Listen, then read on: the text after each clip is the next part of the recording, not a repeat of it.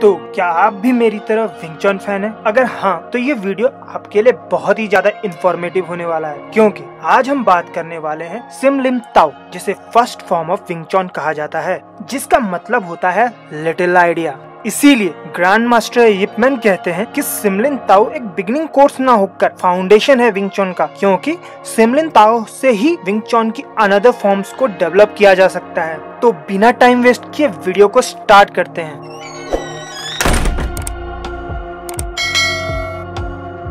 तो सबसे पहले समझते हैं क्यों इसे फ़र्स्ट स्टेप ऑफ़ विंगचुन कहा गया है। सबसे पहला पॉइंट है, इसी से प्रैक्टिशनर को विंगचॉन के सभी हैंड मूवमेंट्स और स्ट्राइक्स का पता चलता है और इसी की हेल्प से वो इनकी एप्लीकेशंस को भी समझता है। दूसरा, उसका स्टांस प्रॉपर होता है। तीसरा पॉइंट है कि स्ट्राइक और ब्रेथ के बीच का कोऑर्डिनेशन इम्प्रूव होता है। चौथा पॉइंट है सेंटर लाइन स्ट्राइकिंग की अंडरस्टैंडिंग इंक्रीज होती है। और पांचवा पॉइंट है कि ये एक प्रकार का मेडिटेशन है तो इसे मेडिटेशन के रूप में भी किया जा सकता है। ऐसे ही बहुत सारे बेनिफिट हैं सिमलिम ताओ के। तो अब बात करते हैं सिमलिम ताओ की। सिमलिम ताओ को तीन सेक्शन में डिवाइड किया गया है। फ़र्स्ट सेक्शन में रिस्ट एंड एल्बो की बेसिक स्ट्रेंथ ट्रेनिंग की जाती है। और जिसमें तान साउ फुक साउ वू साउ की हैंड फॉर्मेशन का यूज़ किया जाता है और साथ ही साथ गोंग की एनर्जी को भी यूज़ किया जाता है। सेकेंड सेक्शन में स्ट्रेंथ एंड पावर को यूज़ करने की ट्रेनिंग की जाती है, जिसमें फैजिंग हैंड यानी कि रिलीज़ ऑफ़ पावर का भी यूज़ किया जाता है। और साथ ही साथ दोनों हाथों को एक साथ यूज़ करते हैं और पावर को रिलीज़ करते समय स्टांस को सॉलिड रखने की भी प्रैक्टिस करते हैं। तीसरे सेक्शन में हैंड की पोजीशन को करेक्ट रखकर स्ट्राइक करने की प्रैक्टिस की जाती है और उन्हें मसल मेमोरी में भी उसी तरह से याद रखने के लिए प्रैक्टिस की जाती है। जिसमें पाक साव, तान साव, गान साव हॉन साव और बोंग साव की प्रैक्टिस की जाती है। तो दोस्तों, अगर आपको विंगचॉन में मास्टरी करनी है तो सिमलिंग ताओ को सही से समझना होगा। तो सिमलिंग ताओ के फ़र्स्ट स्टेप में सबसे पहले स्टांस की प्रैक्टिस की जाती है और फ्रंटल स्टांस में ही स्लिम ताओ की सारी फॉर्म्स की प्रैक्टिस की जाती है। दोस्तों, आपका स्टांस जितना ज़्यादा स्टेबल होगा, आपके स्ट्राइक और डिफेंस उतने ज़्यादा मज़बूत होंगे। अगर बात करें सेकंड सेट की तो सेकंड सेट में तानसाव विनसाव और जैमसाव को प्रैक्टिस किया जाता है। जहाँ तानसाव का मतलब होता है ओपनिंग हैंड विनसाव का मतलब हुआ सर्कलिंग हैंड और जैमसाव का मतलब हुआ स्ट्राइकिंग हैंड यहाँ पर डबल तानसाव का यूज़ सेंटर लाइन को चेक करने के लिए होता है। बट इसके और भी यूज़ हो सकते हैं। फिर हिंसाव रिस्ट की फ्लेक्सिबिलिटी को इम्प्रूव करने के लिए यूज़ की जाती है। और लास्ट में जैमसाव की प्रैक्टिस की जाती है, जिसमें फिस्ट से स्ट्राइक की जाती है। दोस्तों, आपने गौर किया होगा कि विंगचॉन में बॉक्सिंग की तरह हॉरिजेंटल फिस्ट से स्ट्राइक नहीं की जाती है, बल्कि वर्टिकल फिस्ट से स्ट्राइक की जाती है, जो कि कई मायनों में आपकी फिस्ट को कई तरीके के डैमेज से बचाता है। इसीलिए इसमें वर्टिकल फिस्ट का यूज़ होता है। तो अब बात करते हैं सिमलिन ताओ के तीसरे सेट की। जिसे काफ़ी स्लोली किया जाता है और इसे ही विंगचॉन की बैकबोन भी कहा जाता है। यहाँ पे स्टेप पहले लेफ़्ट हैंड से किया जाता है और फिर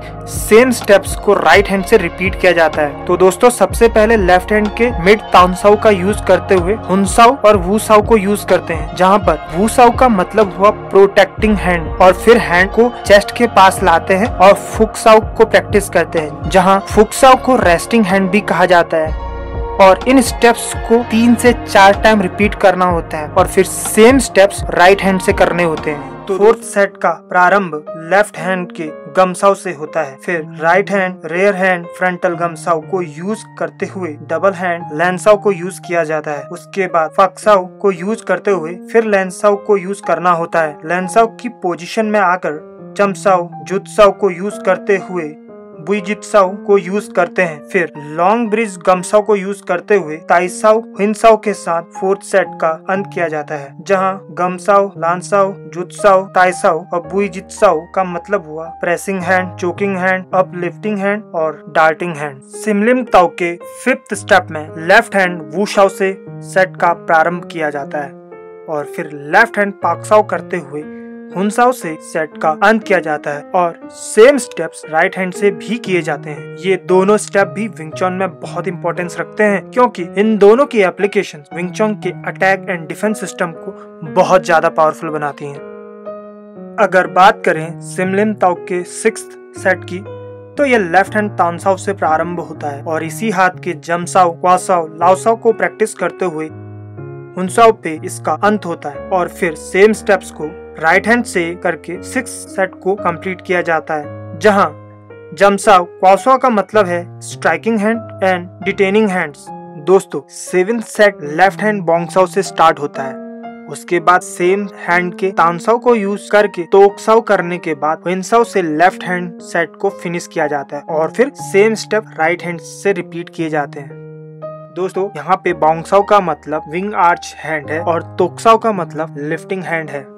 अगर बात करें सिमलिन ताओ के फाइनल सेट की तो ये भी अन्य सेट्स की तरह ही लेफ़्ट हैंड से स्टार्ट होता है। इसमें लेफ़्ट हैंड तुत्साव के बाद राइट हैंड तुत्साव किया जाता है और उसके बाद थ्री टाइम चेन पंचेस किए जाते हैं और फाइनली विंसाव से इस सेट को भी फिनिश किया जाता है। दोस्तों सिमलिम ताउक के तीनों सेक्शन को प्रॉपरली लर्न करने के बाद ही नेक्स्ट फॉर्म को लर्न किया जाता है। दोस्तों, इसी के साथ सिमलिम ताउक की इस सीरीज़ का अंत करते हैं और अगर आपको सभी हैंड मूवमेंट्स के लिए प्रैक्टिकल वीडियो चाहते हैं तो हमें कमेंट सेक्शन में ज़रूर मेंशन करें। तब तक के लिए आप सभी को हमारा प्यार भरा प्रणाम।